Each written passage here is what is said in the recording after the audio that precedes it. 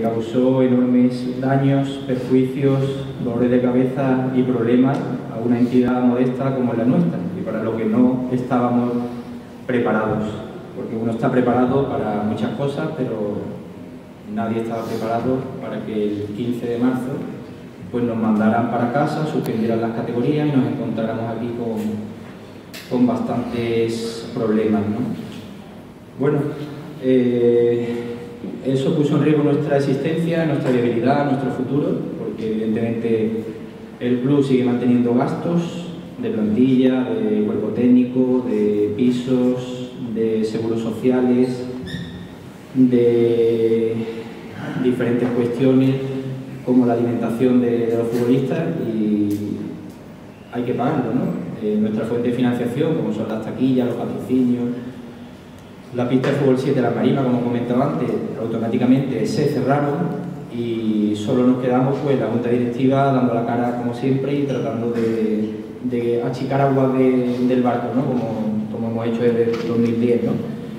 Bueno, yo quiero agradecer a todos los directivos ese esfuerzo que hicieron, ¿no? de, de, incluso poner dinero de su bolsillo ¿no? para que futbolistas comieran, porque no podía haber vuelos para, para sus respectivos países para que se pagasen esos pisos, para, para que al final, pues bueno, creo que fue una cuestión humanitaria y también hay que decir que nos vimos muy solos, ¿no?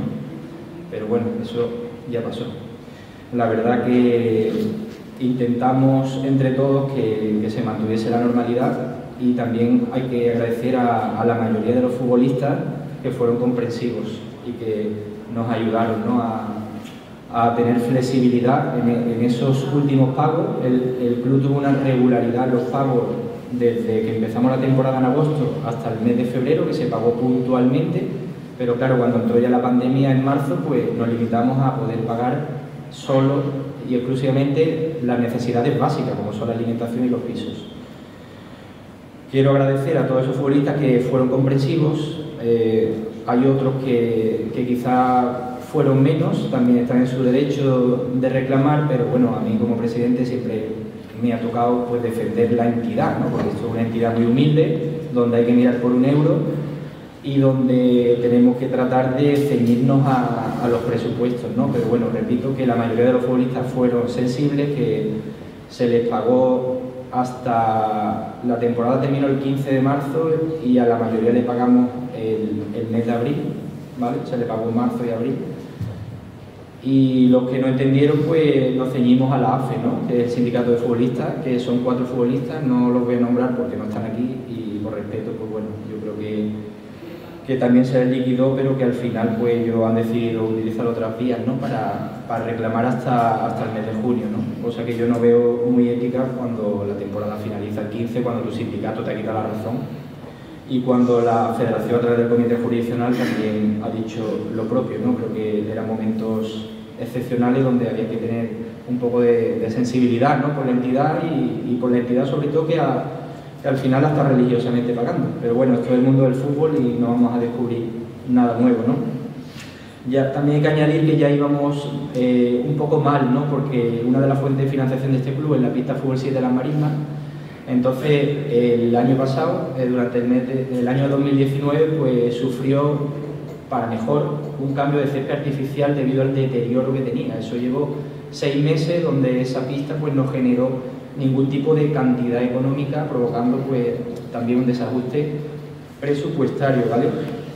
que fuimos poco a poco intentando eh, ir dándole la vuelta a través de otro tipo de gestiones y reinventándonos. Eh, como dato positivo tuvimos el acuerdo, o en este caso el amistoso con el Cádiz Club de Fútbol en verano, que nos reportó unos 6.000 euros en, taquilla, que creo que fue una buena gestión de, toda la junta directiva para ir supliendo todos esos perjuicios.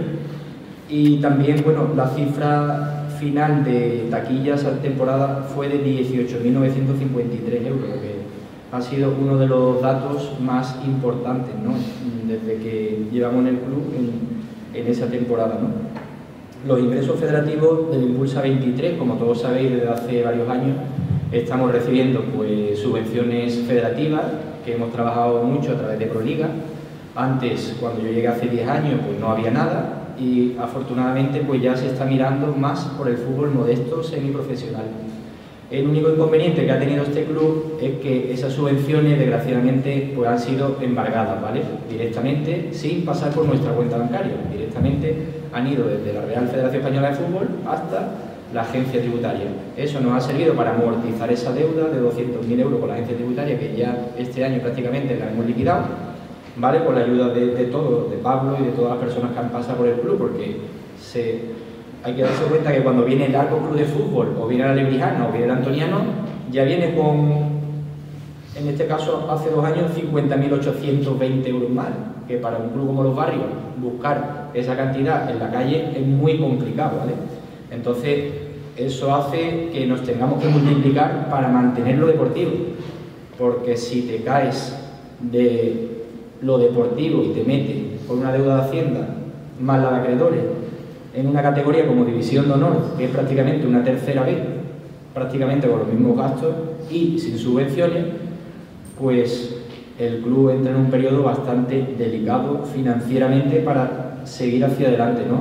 Así que yo creo que ha sido muy importante mantener la categoría para poder quitar esas deudas, ¿vale? Para poder ir saneando al club y para poder ir eh, poco a poco eh, limpiando ese embargo para que pudiésemos normalizar la situación. No es fácil porque estamos hablando de una cantidad importante, pero creo que se ha ido cumpliendo, ¿no? Al final es difícil también mantener una plantilla en tercera porque los requerimientos son mayores, hay que dar de alta jugadores, hay que te piden una cantidad un poco más amplia, hay que contratar piso, creo que lo hemos conseguido, como podemos observar, otro año más estaremos en tercera, que será la 22 temporada. Y bueno, en el capítulo de socios y abonados se alcanzaron los 16.000 euros, ¿vale?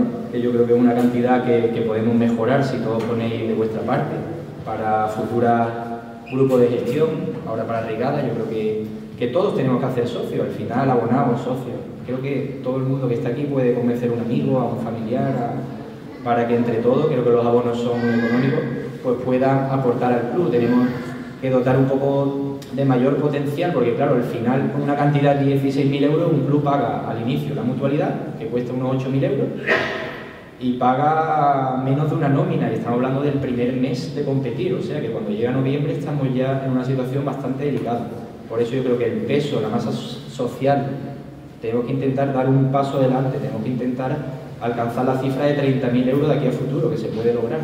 Y tenemos que intentar ser 500 abonados la temporada que viene, nada más que a 60 euros estaríamos hablando de los 30.000 euros que, yo creo que se podría alcanzar para que los futuros dirigentes tuviesen más facilidades para, aparte de lo que van a poner ellos y la inversión que van a hacer, pero entre todos ayudar, porque después queremos ver un buen espectáculo deportivo, queremos ver buenos futbolistas y muchas veces no damos para eso, nos quedamos cortos porque luego viene aquí a jugar, o vino a jugar el Algeciras, viene a jugar el Ceuta, que es una ciudad autónoma y tiene medio millón de euros de presupuesto, entonces nosotros vamos con pistolas de agua y ellos vienen con tanques, pero claro, después nadie se acuerda de esos presupuestos, porque después cuando estamos todos en el campo, los 22 futbolistas, parecemos que somos lo mismo, pero muchas veces ese tipo de cosas no la ven o no la hemos visto antes los que éramos aficionados, futbolistas, técnicos o socios, pero cuando pasa el plano de la gestión, pues te das cuenta de todas las dificultades y de todo lo que nos cuesta pues, mantener un club en categoría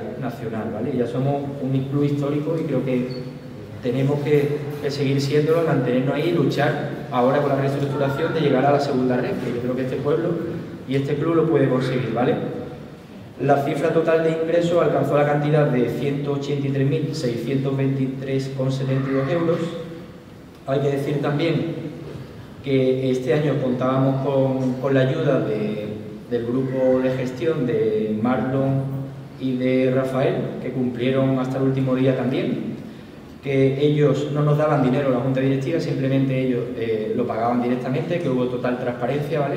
Que nosotros le dijimos, mira, encárgate tú de firmar entrenador, cuerpo técnico, y trajo a Facu, como bien sabéis, a Triunfo y algún futbolista más y ellos directamente pues se encargaban de, esos pagos, ¿no? que nos ayudaron un poco pues, a salir también hacia adelante y amortizar el capítulo de, de gasto de la plantilla de cuerpo técnico, que al final un presupuesto como el de la 19-20 se va a los 93.366 euros y ya vamos cortos ¿eh?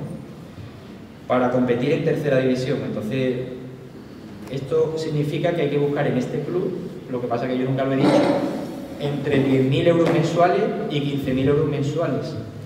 Este año va a subir el presupuesto, después ya lo explicará eh, el futuro presidente, pero que hay que poner una cantidad importante, que el dinero no está en este club en el cajón, que estamos embargados, que aquí hay que tirarse a la calle, buscar un euro, hacer una rifa, trabajar, buscar publicidades. Esto no es fácil.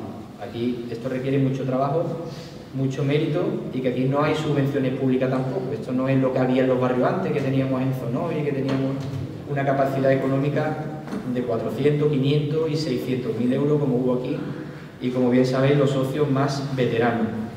Somos un club muy humilde y hemos podido mantenernos ahí, quitar deuda como buenamente hemos podido, sufriendo mucho, con muchas dificultades. Pero bueno, al final eso nos ha curtido y creo que la Unión Deportiva es eso, ¿no? es un club modesto, humilde y, trabajador. También destinamos a la agencia tributaria esa temporada 5.820 euros, que fue una partida muy importante, ¿vale?